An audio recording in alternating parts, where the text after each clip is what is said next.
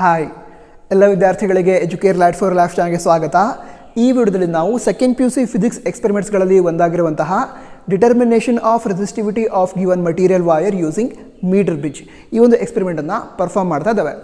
ನಂತರ ಈ ಒಂದು ಎಕ್ಸ್ಪೆರಿಮೆಂಟ್ ಮಾಡೋದಕ್ಕೆ ಯಾವ್ಯಾವ ಅಪರಟ್ಸ್ ಬೇಕಾಗುತ್ತೆ ಸರ್ಕ್ಯೂಟ್ ಕನೆಕ್ಷನನ್ನು ಯಾವ ರೀತಿ ಮಾಡೋದು, ಹಾಗೆ ಕ್ಯಾಲ್ಕುಲೇಷನ್ ಯಾವ ರೀತಿ ಮಾಡೋದು, ಈ ಎಲ್ಲ ಇನ್ಫಾರ್ಮೇಷನ್ಸನ್ನು ನಾವು ಈ ವಿಡಿಯೋದಲ್ಲಿ ತಿಳಿದುಕೊಳ್ತಾ ಇದ್ದಾವೆ. ವಿಡಿಯೋ ಸ್ಟಾರ್ಟ್ ಮಾಡೋಕ್ಕಿಂತ ಮೊದಲು ಈ ಒಂದು ಎಕ್ಸ್ಪೆರಿಮೆಂಟ್ ಏನಿದೆ, ಇದನ್ನು Y T S S P U college Yellapur.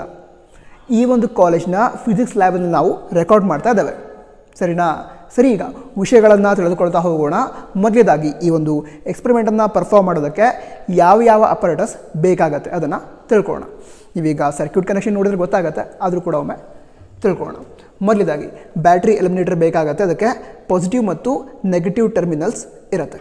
ಹೌದಾ? ಹೌದು. ನಂತರ ನಾವೊಂದು ಮಟೀರಿಯಲ್ ವೈರ್ ಏನಿದೆ, ಅದರ ರೆಸಿಸ್ಟಿವಿಟಿಯನ್ನು ಫೈಂಡ್ ಔಟ್ ಮಾಡ್ತಾ ಇದ್ದೀವಿ. ಸೊ ಅದಕ್ಕೋಸ್ಕರ ಈ ರೀತಿ ಒಂದು ಡಿವೈಸ್ ಕೊಟ್ಟಿರ್ತಾರೆ. ಸೊ ಈ ಒಂದು ಮಟೀರಿಯಲ್ ವೈರ್ ಏನಿದೆ, ಅದರ ಲೆಂತ್ ಮತ್ತು ರೇಡಿಯಸ್ ಅದನ್ನು ಕೂಡ ಕೊಟ್ಟಿರ್ತಾರೆ. ಅಂದರೆ ಗಿವನ್ ಕ್ವಾಂಟಿಟೀಸ್ ಆಗಿರುತ್ತೆ. ನಂತರ ಗ್ಯಾಲೋಮೀಟರ್ ಬೇಕಾಗತ್ತೆ. ಗ್ಯಾಲೋಮೀಟರ್ ಬೇಕಾಗತ್ತೆ. ಸೊ ಇದಕ್ಕೂ ಕೂಡ ಪಾಸಿಟಿವ್ ಮತ್ತು ನೆಗೆಟಿವ್ ಟರ್ಮಿನಲ್ಸ್ ಇರುತ್ತೆ. ನಂತರ ಪ್ಲಗ್ ಕೀ ಬೇಕು. ಸೊ ಇಲ್ಲಿಗೆ ಪ್ಲಗ್ ಕೀ ಇದೆ. ಪ್ಲಗ್ ಕೀ ಬೇಕಾಗತ್ತೆ. ನಂತರ ಒಂದು ರೆಸಿಸ್ಟೆನ್ಸ್ ಬಾಕ್ಸ್ ಬೇಕು. ಇಲ್ಲಿದೆ. ಹೌದಾ? ಸೊ ಇದರಿಂದ ನಾವೇನು ಮಾಡ್ತೇವೆ? ನೌನ್ ರೆಸಿಸ್ಟೆನ್ಸನ್ನು ಅನ್ಪ್ಲಗ್ ಮಾಡ್ತೇವೆ. ನಂತರ ಜಾಕಿ ಒಂದು ಬೇಕಾಗತ್ತಾ? ಹಾಂ. ಜಾಕಿ ಬೇಕಾಗತ್ತೆ? ಅದಕ್ಕೆ ವೈರ್ ಕನೆಕ್ಟ್ ಮಾಡಿ ಇಟ್ಟಿದ್ದೀನಿ. ಓಕೆ ಜಾಕಿ ಒಂದು ಬೇಕಾಗುತ್ತೆ. ನಂತರ ಮೀಟರ್ ಬ್ರಿಡ್ಜ್ ಬೇಕಾ? ಮೀಟರ್ ಬ್ರಿಡ್ಜ್ ಬೇಕಾಗುತ್ತೆ. ಸರಿ ಇದೆಯಾ? ಸರಿ ಮೀಟರ್ ಬ್ರಿಡ್ಜ್ ಬೇಕಾಗುತ್ತೆ. ನಂತರ ಈಗ ಸರ್ಕ್ಯೂಟ್ ಕನೆಕ್ಷನ್ ಯಾವ ರೀತಿ ಇರುತ್ತೆ ಅಂತ ತಿಳಿದುಕೊಳ್ತಾ ಹೋಗೋಣ. ಸರಿನಾ? ಸರಿ. ಮೊದಲೇದಾಗಿ, ಬ್ಯಾಟ್ರಿ ಎಲಿಮಿನೇಟರ್ನ ಪಾಸಿಟಿವ್ ಟರ್ಮಿನಲಿಂದ ಎ ಅನ್ನೋ ಪಾಯಿಂಟ್ ಕನೆಕ್ಷನ್ ಹೋಗುತ್ತೆ. ಕನೆಕ್ಷನ್ ಹೋಗುತ್ತೆ. ಆ ಕನೆಕ್ಷನ್ ಈಗ ವೈರ್ ತೊಗೊಂಡು ಮಾಡೋಣ. ಕನೆಕ್ಷನ್ ಆಯಿತಾ ಹಾಗಿದ್ರೆ ಈಗ ಕನೆಕ್ಷನ್ ಆಯಿತು. ಬ್ಯಾಟ್ರಿ ಎಲಿಮಿನೇಟರ್ನ ಪಾಸಿಟಿವ್ ಟರ್ಮಿನಲಿಂದ ಈ ಪಾಯಿಂಟ್ಗೆ ಕನೆಕ್ಷನ್ ಆಯಿತು. ಈಗ ಬ್ಯಾಟ್ರಿ ಎಲಿಮಿನೇಟರ್ನ ನೆಗೆಟಿವ್ ಟರ್ಮಿನಲಿಂದ ಪ್ಲಗ್ ಕೀ ಕನೆಕ್ಟ್ ಆಗುತ್ತೆ. ಪ್ಲಗ್ ಕೀಯಿಂದ ಸಿ ಅನ್ನೋ ಪಾಯಿಂಟ್ ಕನೆಕ್ಟ್ ಆಗುತ್ತೆ. ಹಾಗಿದ್ರೆ ಬ್ಯಾಟ್ರಿ ಎಲಿಮಿನೇಟರ್ನ ನೆಗೆಟಿವ್ ಟರ್ಮಿನಲಿಂದ ಪ್ಲಗ್ ಕೀ ಕನೆಕ್ಟ್ ಆಗುತ್ತೆ. ಪ್ಲಗ್ ಕೀಯಿಂದ ಸಿ ಅನ್ನೋ ಪಾಯಿಂಟ್ಗೆ ಕನೆಕ್ಟ್ ಆಗುತ್ತೆ. ಆಗುತ್ತಾ? ಆಗುತ್ತೆ.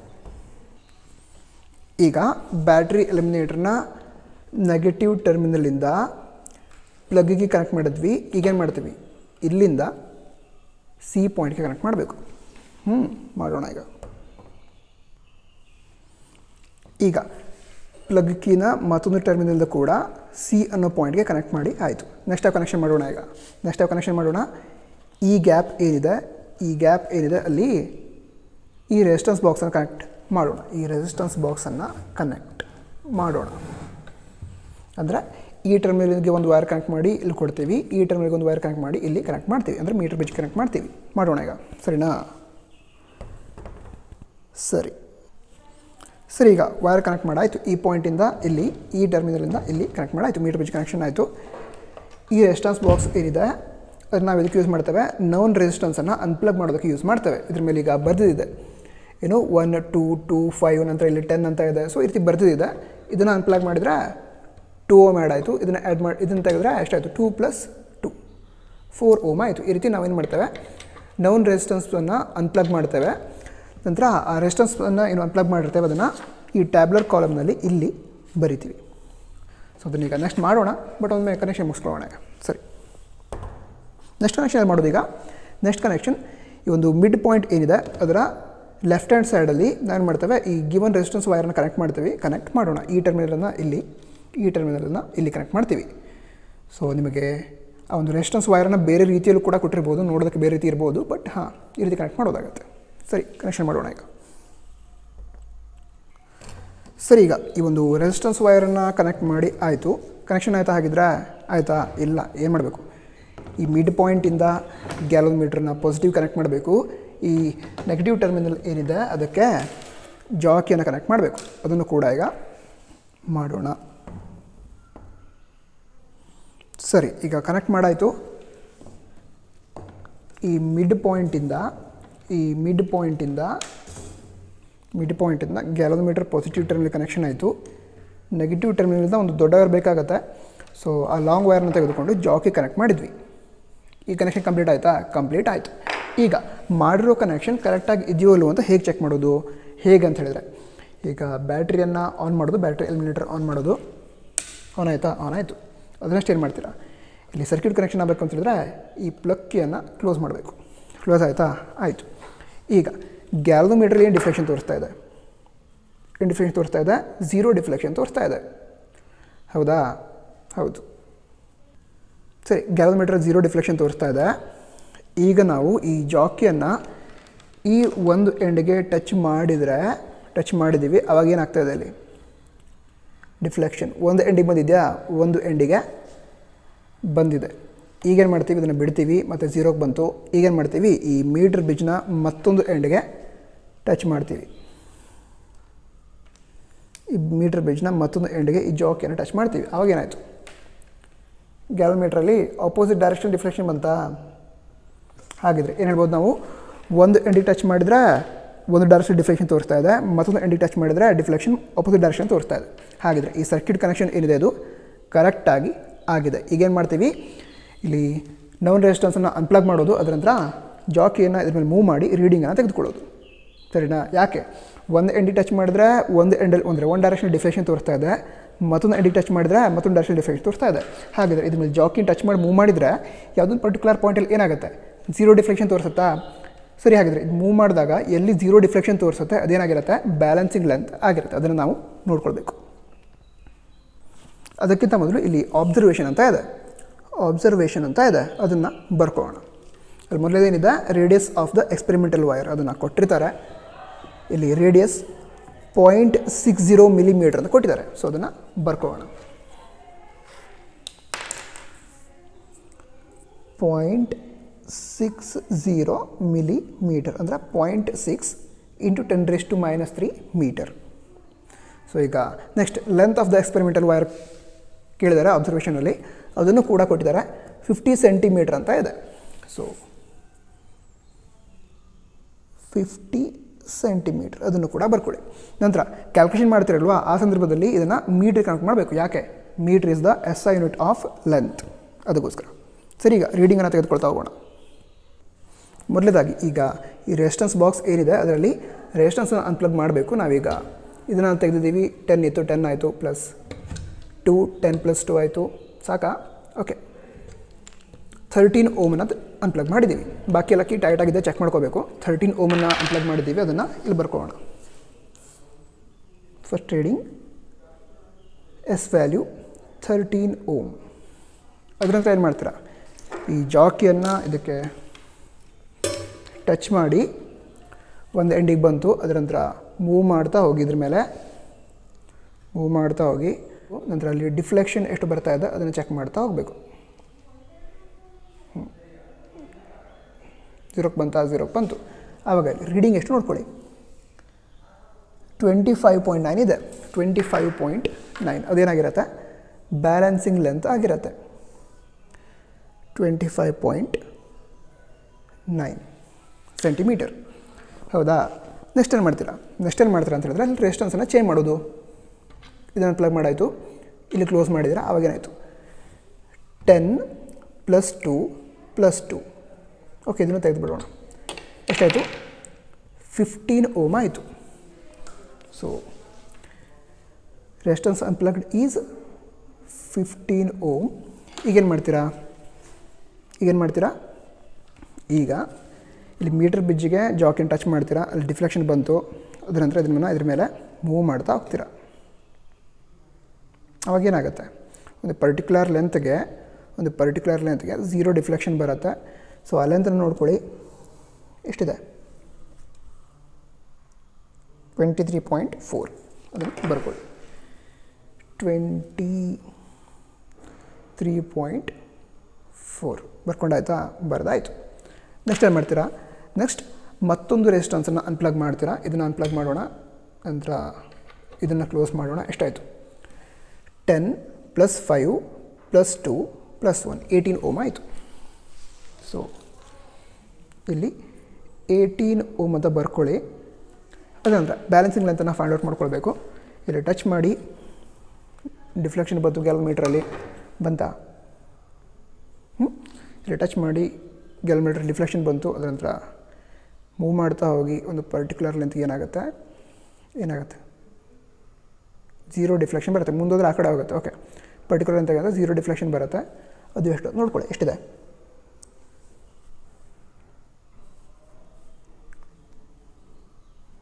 Twenty point two twenty point two ಇದನ್ನಾಗಿರುತ್ತೆ balancing length ಆಗಿರುತ್ತೆ. ಸೊ ಈಗ ಇದಿಷ್ಟಾಯಿತು ನೆಕ್ಸ್ಟ್ ಏನು?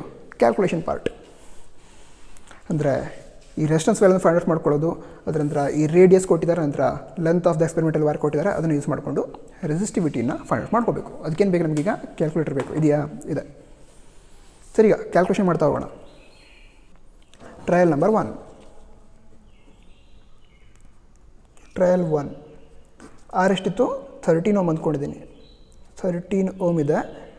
ಬ್ಯಾಲೆನ್ಸಿಂಗ್ ಲೆಂತ್ ಎಷ್ಟು ಬಂದಿತ್ತು? ಟ್ವೆಂಟಿ ಫೈವ್ ಪಾಯಿಂಟ್ ನೈನ್ ಬಂದಿತ್ತು. ಪಾಯಿಂಟ್ ನೈನ್ ಸೆಂಟಿಮೀಟ್ರ್ ಅಂತ ಬಂದಿತ್ತು. ಸೊ ಈಕ್ವೇಷನ್ ಯಾವುದು ನೆನಪಿದೆಯಾ? R is equal to S into L divided by hundred minus L ಇದೇನಾ? ಹಾಂ ಇದೇ ಈಕ್ವೇಷನ್ನ ಇದೇ ಫಾರ್ಮುಲಾನ ಹೌದಿದೆ ಹಾಗಾದ್ರೆ ಏನಾಗುತ್ತೆ? Thirteen into twenty five point nine divided by hundred minus twenty five point nine ಎಷ್ಟಾಯಿತು? Seventy four point one so ಈಗ ರೆಸಿಸ್ಟೆನ್ಸ್ ವ್ಯಾಲ್ಯೂ ಎಷ್ಟು ಬರುತ್ತೆ ನೋಡ್ಕೊಳ್ಳೋಣ. ಎಷ್ಟು ಅಂತ ತಿಳ್ಕೊಳ್ಳೋದಾದರೆ thirteen into twenty five point nine is equal to divided by seventy four point one ಎಷ್ಟು ಬಂತು four point five four point five ohm ಬಂತು. ಹೌದು? ನೆಕ್ಸ್ಟ್ ಯಾವುದು? Trial number two. Trial number two. ಇಲ್ಲಿ ಆರ್ ವ್ಯಾಲ್ಯೂ ಎಷ್ಟಿತ್ತು? Fifteen ohm ಇತ್ತು. Fifteen ohm ಇತ್ತು. L value twenty three point four ಇತ್ತು. Okay twenty three point four ಇತ್ತು centimetre so R value ಏನಾಗುತ್ತೆ? Fifteen into twenty three point four divided by hundred minus twenty three point four is equal to seventy six point six ಈಗ R value ನೋಡೋಣ ಎಷ್ಟಾಗತ್ತಂತ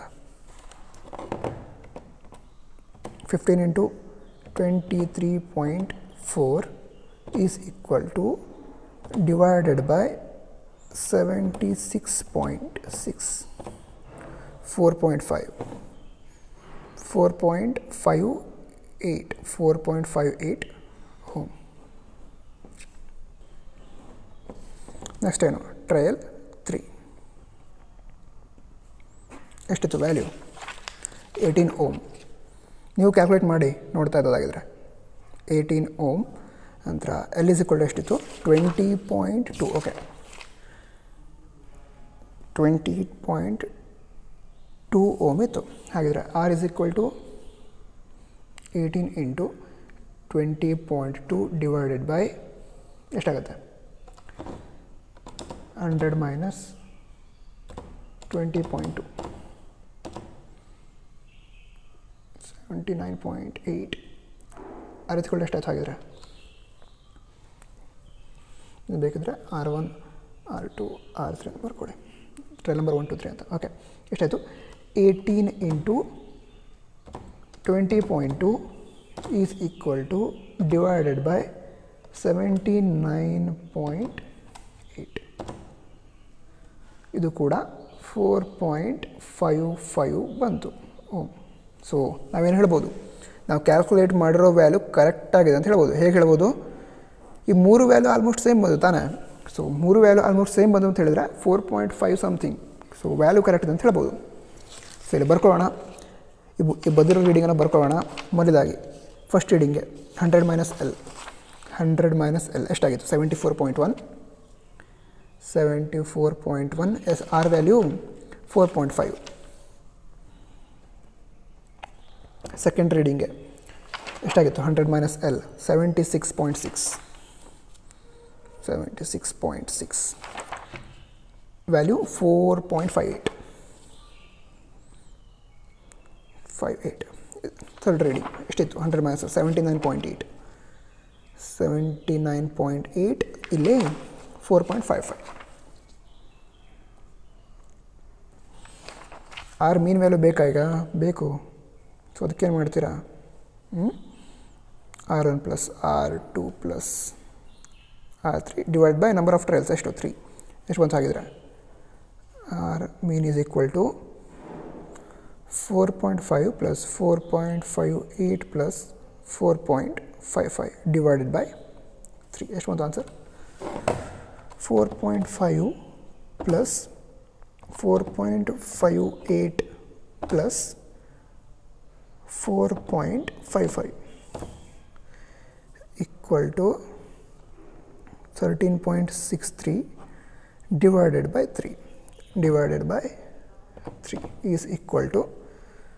R mean is equal to ಎಷ್ಟು ಬಂತು? Four point five four ಇಷ್ಟ ಬರೆದಿರ್ತೀರಾ? ಅಷ್ಟೇ ಬರೀಬಾರ್ದು. Assignment ಬರಿಬೇಕು. ಓ correct ಇದೆಯಾ? ಕರಿ ಹಾಗಿದ್ರೆ. ಎಷ್ಟು ಬಂತು ಹಾಗಿದ್ರೆ? Four point five four ohm ಅಂತ ಬಂತು. ಸರಿನಾ? ಸರಿ, ಹಾಗಿದ್ರೆ ಈಗ ರೆಸಿಸ್ಟಿವಿಟಿನ ಫೈಂಡ್ ಔಟ್ ಮಾಡಬೇಕು.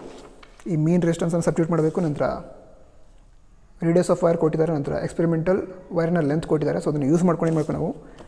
ರೆಸಿಸ್ಟಿವಿಟಿನ ಫೈಂಡ್ ಔಟ್ ಮಾಡಬೇಕು. ಅಂದರೆ ಈಗ ರೆಸಿಸ್ಟೆನ್ಸ್ ಫೈಂಡ್ ಔಟ್ ಮಾಡಾಯಿತು ನೆಕ್ಸ್ಟ್ ರೆಸಿಸ್ಟಿವಿಟಿನ ಫೈಂಡ್ ಔಟ್ ಮಾಡಬೇಕು. ಓಕೆನಾ ಓಕೆ ಸ್ಟಾರ್ಟ್ ಮಾಡೋಣ ಈಗ. ಸೊ ಇಲ್ಲಿಗ ರೆಸಿಸ್ಟಿವಿಟಿ ಫೈಂಡ್ ಔಟ್ ಮಾಡೋ ಫಾರ್ಮುಲಾ ಇದೆ. ಅಲ್ಲಿಗ ಸಬ್ಸ್ಟಿಟ್ಯೂಟ್ ಮಾಡ್ತಾ ಹೋಗಬೇಕು. Rho is equal to pi ಅಂದರೆ ಏನು? Three point one four two pi value ಅದು. ಇಂಟು ರೇಡಿಯಸ್ ಸೊ ಅಲ್ಲಿಗ ರೇಡಿಯಸ್ ಎಷ್ಟು ಕೊಟ್ಟಿದ್ದಾರೆ? ರೇಡಿಯಸ್ ಎಷ್ಟು ಕೊಟ್ಟಿದ್ದಾರೆ?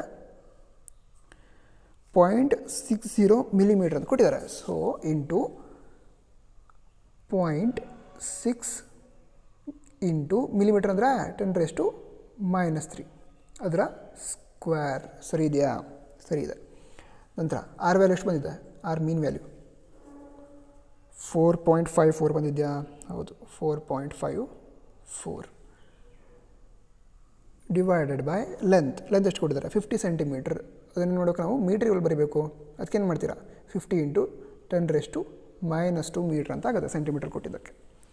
ಸೊ ಈಗ ನೆಕ್ಸ್ಟ್ ಏನು ಮಾಡೋದು? ನೆಕ್ಸ್ಟ್ ಏನು ಮಾಡ್ತೀರಾ? ಕ್ಯಾಲ್ಕುಲೇಷನ್ ಮಾಡ್ತೀರಾ? ಹೌದಾ? ಮಾಡಲ್ವಾ? ಮಾಡ್ತೀರಾ? ನೀವು ಕೂಡ ಕ್ಯಾಲ್ಕುಲೇಟ್ ಮಾಡಿದ್ರ ಜೊತೆಗೇ ಮೊದಲದಾಗಿ ಇವೆರಡನ್ನು ಮಲ್ಟಿಪ್ಲೈ ಮಾಡ್ಕೊಳ್ಳೋಣ. Three point one four two into four point five four four point five four is equal to, ಎಷ್ಟು? Fourteen point two six